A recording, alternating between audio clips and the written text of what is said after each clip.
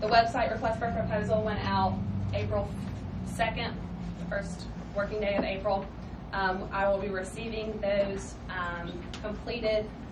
They're due to me April twenty-seventh. Um, and those will be reviewed and we will move forward in accepting a bid mid-May.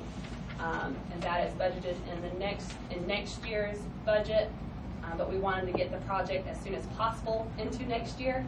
So that's why we moved forward with, um, the request, um, packages, package, and, um, so we'll have a new website.